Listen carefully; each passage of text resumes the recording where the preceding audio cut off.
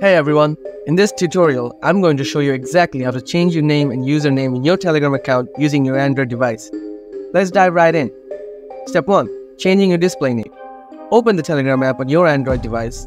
Next, tap on the three horizontal lines in the top left corner. Then select Settings.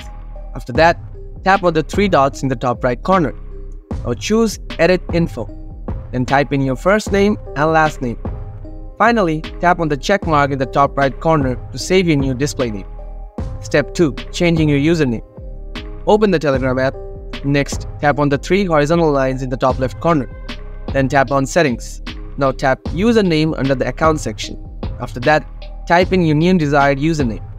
Now tap on the check mark in the top right corner to save. And that's it for today everyone. Now you know how to update both your display name and username on Telegram using your Android phone. If this video helped you out, make sure to hit that like button. Thanks for watching and I'll catch you in the next video. Bye for now.